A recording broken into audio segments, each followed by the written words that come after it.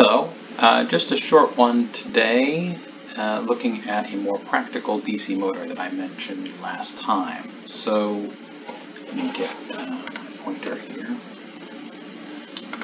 So remember that last time we actually looked at this rotor. So remember that each pair of these wire cross sections, so say this one, and this one.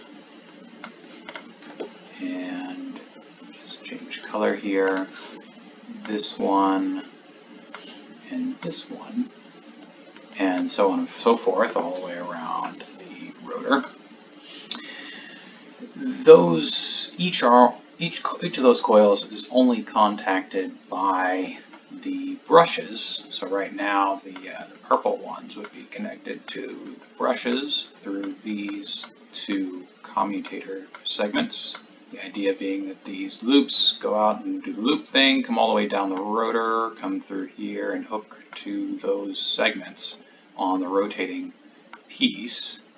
And then because they are in contact with the stationary brushes here, they're the ones getting current. And that, remember, in the horizontal position, is approximately where you're getting maximum torque if you have a, um, a two-pole magnet.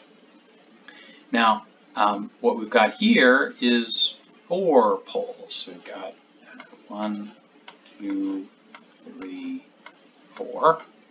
And the idea behind having four poles, in addition to having all of these loops, is so, as it says there in the heading, uh, so that you have even more uniform torque around the whole rotation of the motor. In addition to this, having four magnets also intensifies the field in this, this outer portion of the rotor where the, uh, where the currents are actually uh, running through each one of those wires. Remember, these are cross sections of the wire, so the current's either come going into the page or into the screen or out of the screen, which side of each set of loops you're looking at. Okay? Now, to that point, let's take a look at um, this picture here.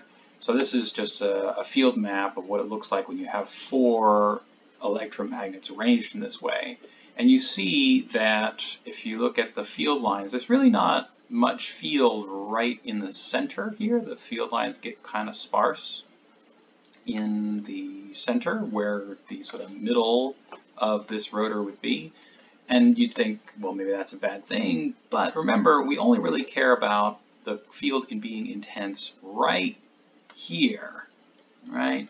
Or right here, where the current carrying wires actually are. And remember, they're on the outside of the rotor. They're not internal to it. And so it's important, instead of having the field be really intense there in the very middle, switch to another color again. Uh, you want the field to be really intense going from north to south, north to south, north to south, etc., etc., all the way around, so that in the region where you've got these current carrying wires, you've got really intense magnetic field in that sort of the outer edge of the rotor. Okay, so uh, yeah, that bends around the direction of the magnetic field and makes our analysis of what coil is receiving most torque, et cetera, et cetera, a little more complicated. But the basic idea is to intensify the field and make it stronger where the current is actually flowing in those wires.